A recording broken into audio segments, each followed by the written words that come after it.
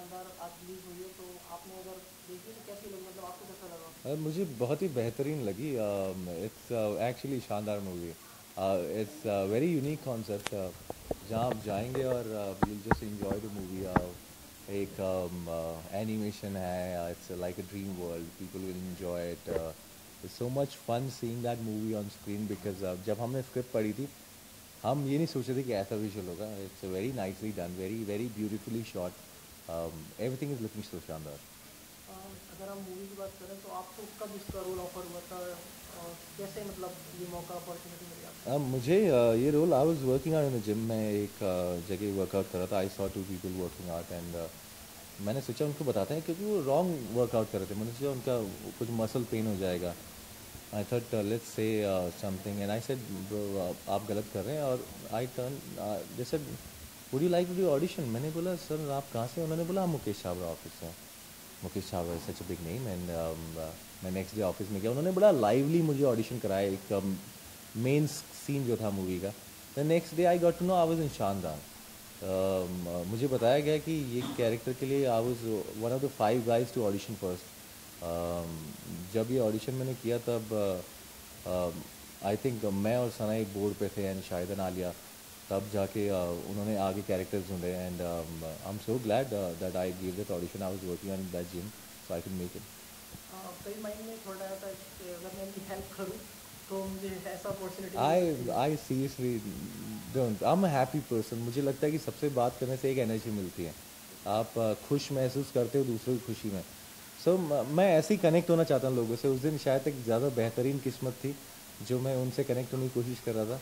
और uh, मैंने nicely उनको कुछ बोला कि- और मुझे नाइसली इतना बड़ा शानदार रिस्पॉन्स मिला। अ, अगर हम मूवी की बात करें जब आप फ़र्स्ट टाइम सेट पे गए होंगे और आलिया और शाहिद से आपकी मुलाकात तो कैसी फील आई एक? Um, एक dreamy feel I because Shahid Kapoor is an amazing actor Alia Bhatt is a dream for every everyone everyone she is the best and या तो आई वॉज़ एक्चुअली एक्साइटेड इतना excited कि मेरे face पे एक normal expression था but मैं सबको बोल रहा था मैं बहुत एक्साइटेड हूँ। नॉर्मली मैं हंस नहीं रहा था बट मेरे अंदर हँसी थी। Uh, अभी तक कुछ ऐसा ही है। लास्ट नाइट मैंने मूवी देखी और अभी तक मैं अंदर से डांस कर रहा हूँ but you know normal face है। This is I am a, जब उनके सामने शॉट कोई हो रहा था तो कहीं ना कहीं थोड़ा सा कॉन्फिडेंस आपको लगा कि यार बैठे हैं आलिया बैठी है दे अमेजिंग वो दोनों नेचुरल एक्टर हैं मोस्टली हमारे जो भी शॉट हुए वो one take two take shot थे। और uh, हमारे बहुत से शॉट्स हैं मी शायद Alia we have many combination shot till the end तो आई थिंक वो इतने नेचुरल हैं कि उनके साथ जो भी होता है वो एक ही बार में हो जाता है। और बड़ा ही नेचुरली हुआ अच्छा हुआ और the result in the end is looking so good अगर the groom I am the Shaandaar the dulha in golden words so if you see Shaandaar is written in golden words that means everything in golden words so yeah we enter in the movie I I am the groom who is always eight and half pack if you see movie there will be light on my abs and B you know, inverted commas on my abs. Uh, and uh, this guy loves himself. This guy is too confident, too swag, too extra confident, loving his brother. And um, he's rude, he's good, he is sweet, he's cute, he's in love. So he's he's a different character. You don't understand what he's gonna do when.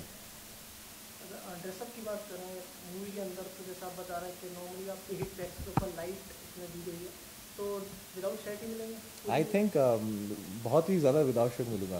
क्योंकि मेरी शादी की जो costume है uh, शादी की normally costume होती है शेरवानी धोती uh, कुर्ता पजामा। मेरी शादी की कॉस्ट्यूम है एक golden pajama golden dhoti and a golden safa. उसके बाद कुछ नहीं। सो बॉडी शूट सूट पहना है मैंने वो नेचुरल है।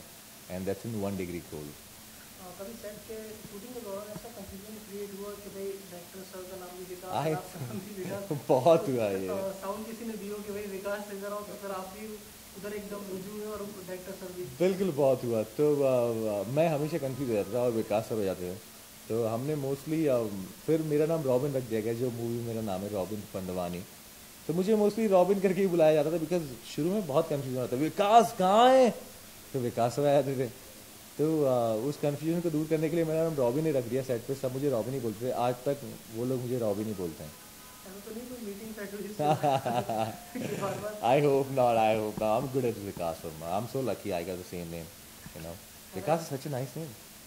हाँ, अगर हम शाहिद कपूर फादर की बात करें तो उनके साथ भी आपका थोड़ा सा एक्टिंग का या शूट का रहा होगा तो कैसे आपको लगा उनके साथ Uh, Bilkul Rai. Um, the, he plays uh, Samdi Uh, um, uh, father of the bride, and uh, you know उनसे connect. Um, but uh, I think Pankaj ji is a method, method actor. वो जो भी करते हैं वो set पे भी वैसे बिहेव करते हैं तो मोस्टली मैं uh, uh, जब मैं पंकज जी को देखूँगा रियल में ना शूट करते हो या कहीं भी so I'll respect him so much. That's what I was doing. I was very much like this, and uh, we didn't talk much, but we were always uh, appreciating each other. I was always respecting him. Uh, we got some scenes. Uh, if you see Senti Wali Mental Song, uh, which is the nine minutes lengthiest song in the movie, that's my song. That's Kavali, and uh, that song I have Pankajji also in coming in fourth paragraph, fifth paragraph actually. So yeah, uh, mostly uh, sharing screen with him was amazing, and he's such a amazing actor. I don't have to say, such a good actor that he made everybody comfortable.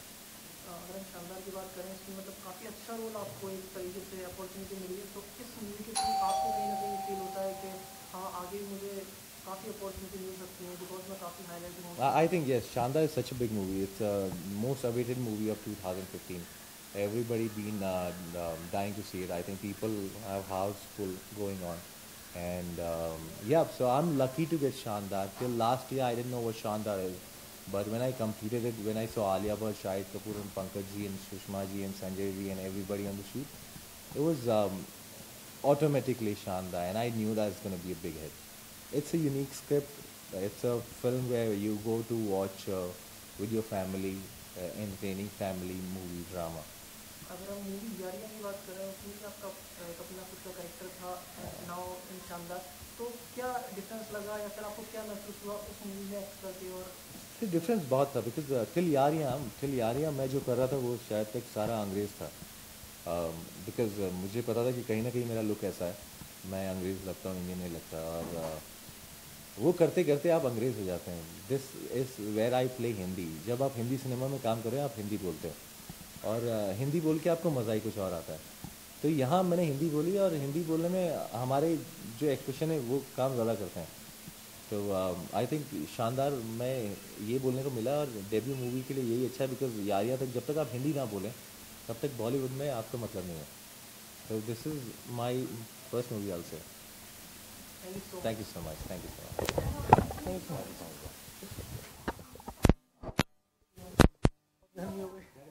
मुझे वैसे ही लगती है।